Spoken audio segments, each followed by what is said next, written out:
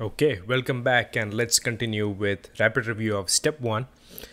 So, what are the common food sources which you will see in your exam which are associated with staph aureus food poisoning? So, classically meats and cream based food like uh, mayonnaise and custard. And what's the form of toxins? It's the preformed enterotoxin, right? That's why you get food poisoning quickly how can you prevent food poisoning from Staph aureus? Proper hand washing during food preparation, right?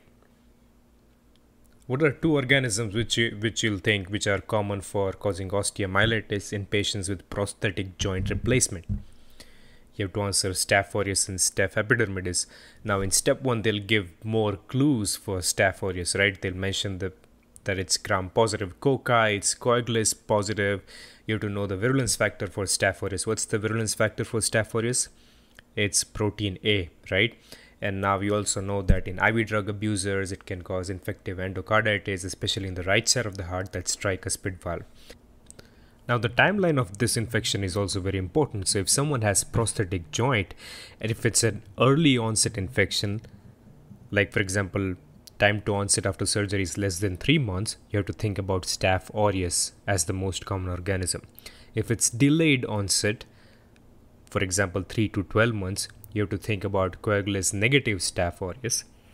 And if it's late onset, that's more than 12 months, then you again have to think about Staph aureus. Okay, so less than 3 months and more than 12 months, it's Staph aureus, and if it's between 3 to 12 months, is coagulase negative Staphylococci. Can you name three bacteria which are the most common cause of meningitis in neonates? There's a mnemonic B E L, bell, right?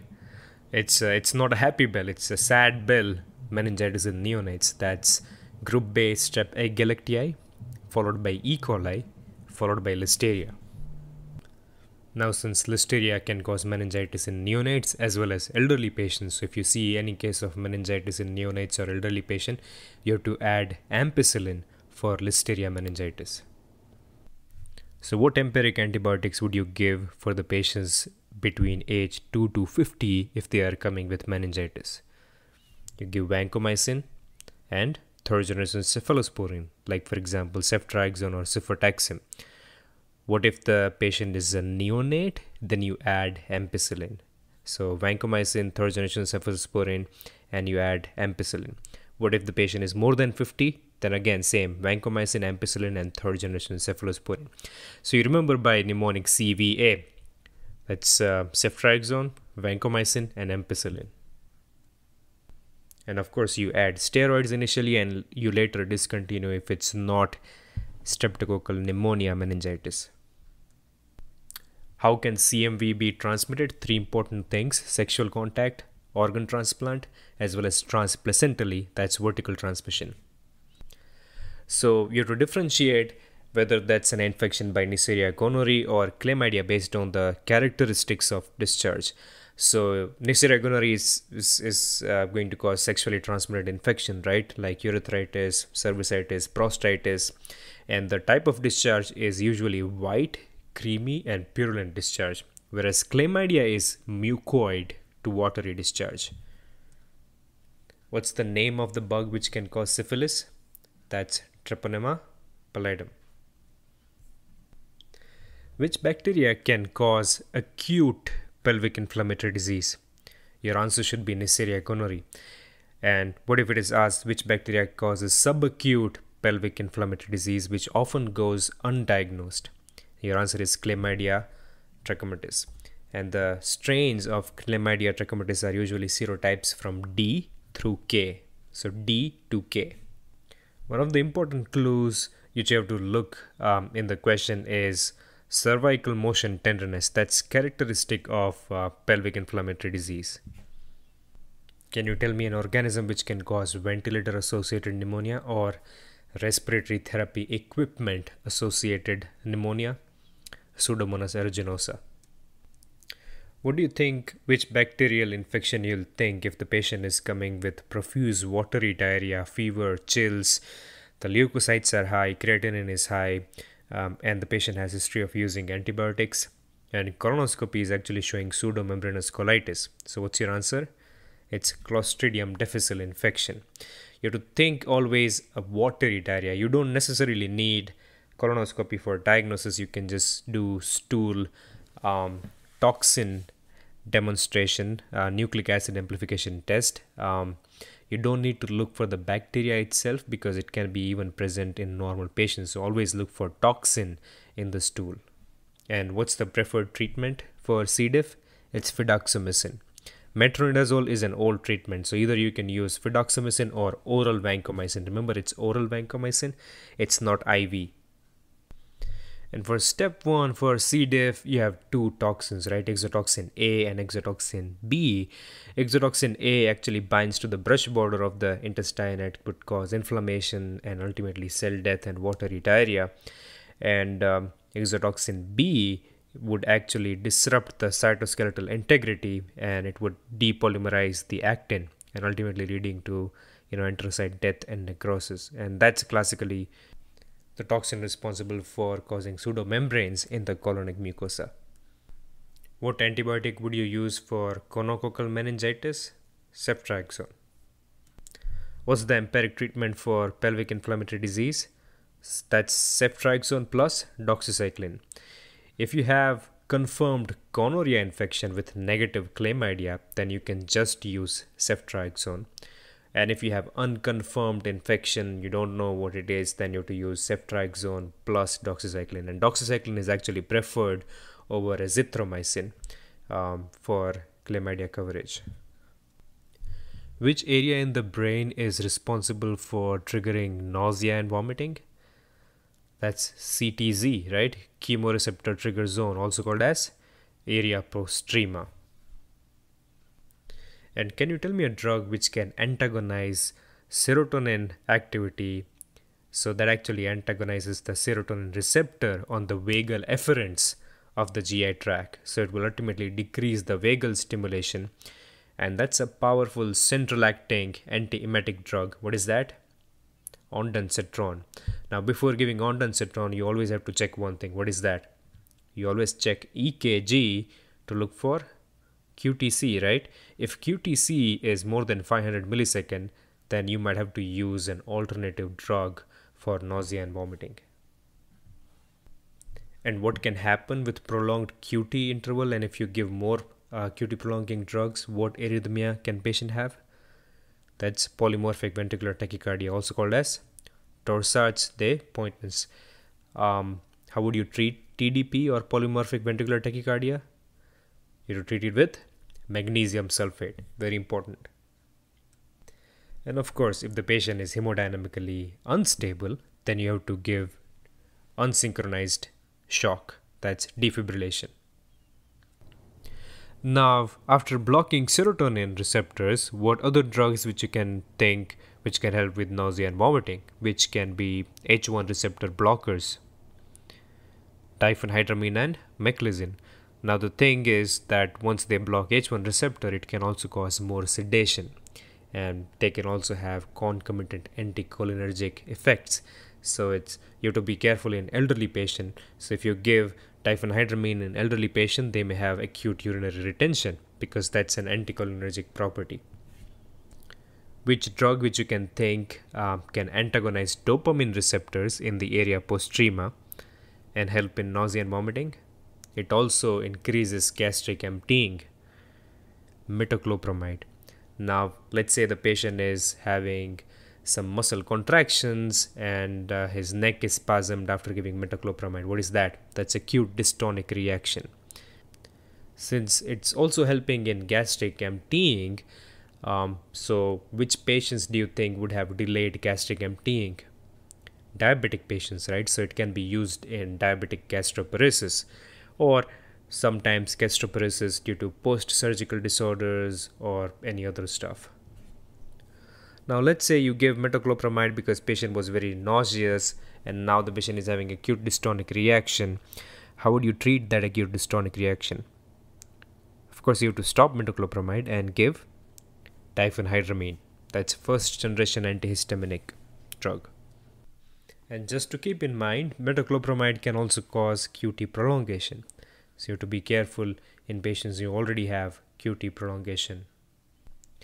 Now, in the chemoreceptor trigger zone or CTZ or area postrema, they also have neurokinin 1 receptors, also called as NK1 receptors, which are activated by substance P.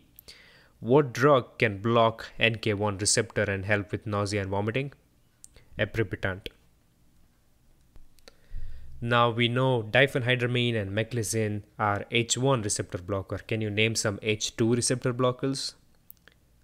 Like cimetidine, ranitidine, famotidine, nizatidine. These are all H2 receptor blockers. Now think about um, these H2 receptor blockers, especially cimetidine. They are potent inhibitors of cytochrome P450 system. So they would have multiple drug drug interactions so you have to be real careful let's say if someone is taking statin and they take cimetidine if you are giving enzyme inhibitors that means the levels of statin would go high and patient would have higher chance of myositis or myotoxicity I usually remember these enzyme inhibitors by a mnemonic called as COKE and PI. C-O-K-E and P-I.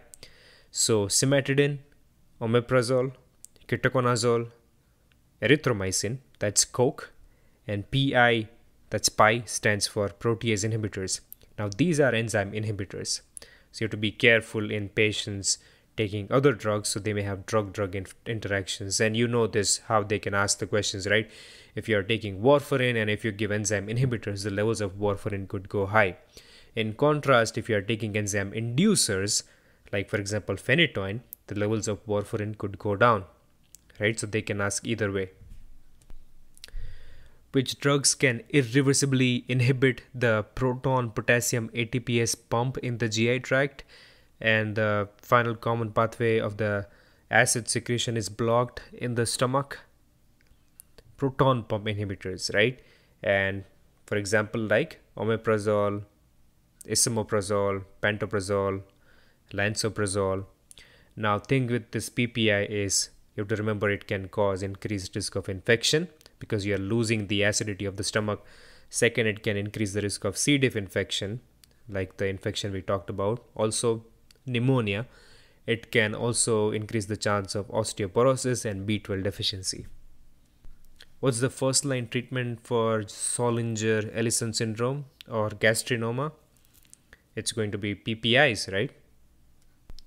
Can you tell me a drug which is an osmotic laxative.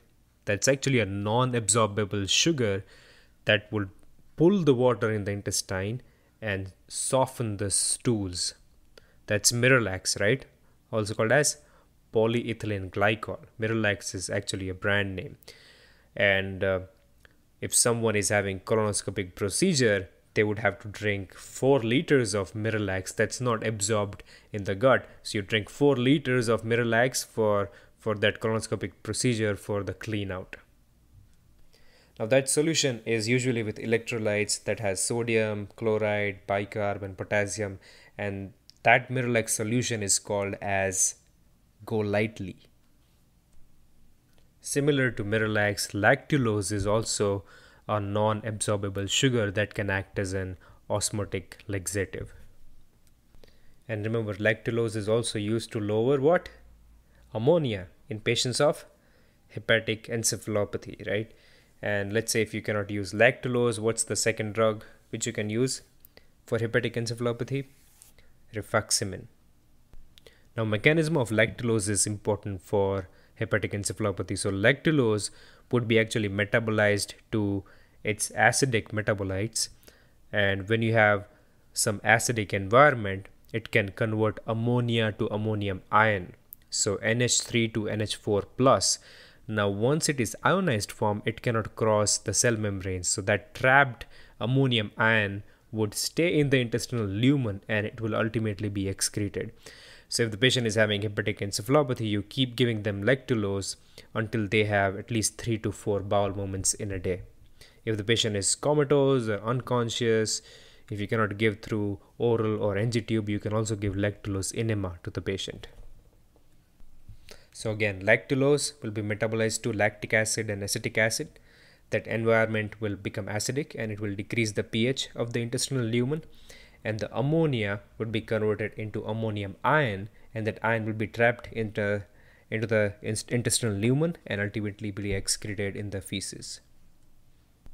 And if you cannot use lactulose, the other drugs are rifaximin, right? And those are actually poorly absorbed antibiotics that actually eliminates ammonia producing bacteria and thus it will decrease the production of ammonia in the intestine and treating uh, hepatic encephalopathy. Okay, so that were osmotic laxatives. Can you tell me some stimulant agents which are cathartic, which can be helpful in constipation? They are senna and bisacodyl. So senna and bisacodyl are cathartics or stimulant agent and that actually stimulates the enteric nervous system and they would also increase um, some colonic secretion. So you have to keep in mind if you are prescribing opioids to some patients, you have to empirically give them this bowel regimen, right? You have to give Miralax and Senna or Miralax and Bisacodyl. Chronic use of Senna is associated with one side effect. What is that condition called as where you see pigmented colon after chronic use of Senna? Melanosis coli. Now let's say if the patient is having diarrhea. Now and let's say if the patient is you know a child and the patient is having bloody diarrhea with fever, would you give them loperamide? You should not. That's actually a contraindication. They would um, retain more toxins and bacterial toxins if you give loperamide by slowing the GI uh, tract mobility or motility, and it would increase risk of more toxic megacolon. Now, if someone is having diarrhea, now diarrhea can be of two types that can be secretory diarrhea or osmotic diarrhea. Osmotic diarrhea would never happen in the night time. Osmotic diarrhea, that means if you are eating something osmotically active, that means you'll pull water and then you'll you'll have to go. That's osmotic diarrhea. Secretory diarrhea patient may even have to wake up in the middle of night and they would have diarrhea in the middle of night as well. So that's the classic differentiation. Uh, mechanism wise secretory diarrhea it's you know it's a type of diarrhea where fluid is actively being secreted into the stool. And can you name few conditions which can cause secretory diarrhea? It can be you know infectious cause. Uh, apart from that it can be VIPoma or carcinoid tumor. And if someone is having secretory diarrhea caused by VIPoma and carcinoid tumor you can use one drug which is somatostatin analog what is that? Octreotide. What's the other place you can use octreotide? When the patient is alcoholic and is coming with upper GI bleed, you want to give octreotide, right? So it can be used for acute variceal bleed. Now, this octreotide can be used in other causes of secretory diarrhea, like chemotherapy induced diarrhea, HIV induced diarrhea, or short bowel syndrome. Okay, let's see if you remember. What are the two drugs which I talked about which can prolong QT and cause torsades pointes?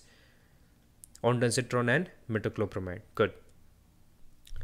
What's the name of um, that cytokine which is released from virus infected cell, virus infected host cell, which can be used as part of some treatments as well? Those are immunomodulatory cytokines called as interferons. Can you tell a place or disease where interferon alpha can be used? In hepatitis B and C infection, right? And if you use pegylated interferon, it's pegylated interferon, you can use that in a less frequent doses. So that's once a week dose. So remember ABC. Interferon alpha treats hepatitis B and hepatitis C. Now it can be also used in treating hairy cell leukemia and malignant melanoma as well. How do you treat flare up of multiple sclerosis? That's steroids, right? IV steroids. How would you treat multiple sclerosis uh, for its maintenance phase, specifically relapsing type? Interferon beta. Very good. And where can you use interferon gamma? Can be classically used in CGD, chronic granulomatous disease.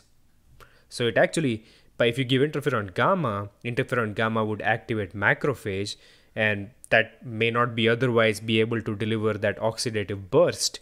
So by giving interferon gamma to patients of CGD, it can reduce the incidence of serious infections by, you know, helping with oxidative burst.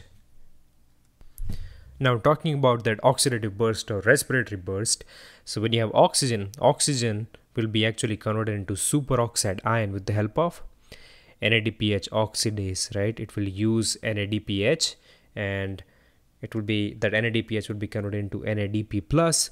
With the help of NADPH oxidase, oxygen will be converted into superoxide. Now, this NADPH oxidase is actually deficient in CGD, chronic granulomatous disease.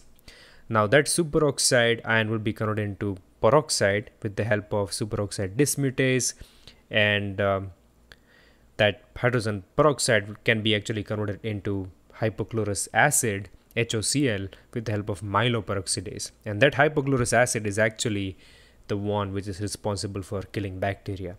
Now that MPO can be deficient in myeloperoxide deficiency. In bottom line, you have to remember NADPH oxidase, which is deficient in chronic granulomatous disease. And as a treatment of that, you can use interferon gamma.